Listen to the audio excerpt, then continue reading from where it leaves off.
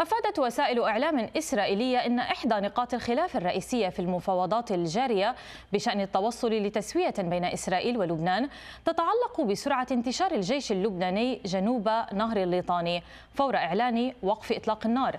ونقلت هيئة البث الإسرائيلية عن مصادر وصفتها بالمطلعة أن رسائل لبنانية تشير إلى أن هذا الانتشار قد لا يتم بالسرعة المتوقعة.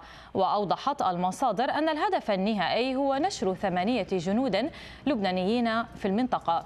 وتتضمن مسودة الاتفاق الذي يجري التفاوض عليها بين إسرائيل ولبنان التزام لبنان بمراقبة مبيعات الأسلحة على أراضيه لمنع وصولها إلى حزب الله أو جماعات مسلحة أخرى.